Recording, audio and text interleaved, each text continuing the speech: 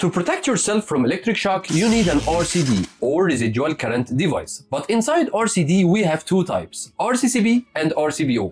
What is the difference? And what about the older ELCB device you still hear about?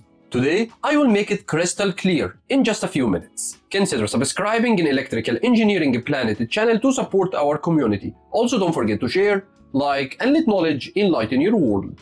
An RCD compares the current flowing out on the line conductor with the current returning on the neutral. If there is difference called residual current, it means some current is leaking to earth, possibly through a person or damaged insulation.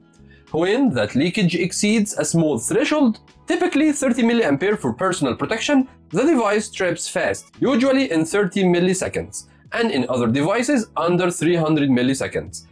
This will cut the power and reduce shock risk. An RCCB or residual current circuit breaker is an RCD that only looks for earth leakage. It doesn't protect against overload or short circuit. That means in a proper installation you pair it with MCB or miniature circuit breaker. This combination will protect you from earth leakage and overload and short circuit.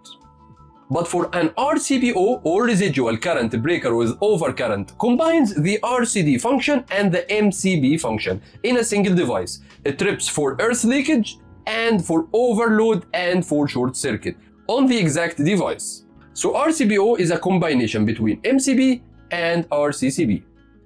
ELCB stands for Earth Leakage Circuit Breaker. Historically, people used ELCB for two different devices. Voltage operated ELCB an older design that trips if it detects a rise in voltage on the earthing system. It depends on the earth path and can miss some dangerous faults like alive to neutral shock, so these are obsolete in modern standards. Current operated ELCB, which is basically what we know now as RCD, RCCB or RCBO. If you see ELCB on old gear, it's likely the voltage operated type. Replace it with an RCD that meets current standards. In the next video, we will learn how to wire an RCD in a three-phase system. Consider subscribing in Electrical Engineering Planet channel to support our community. Also don't forget to share, like and let knowledge enlighten your world. Thanks for watching.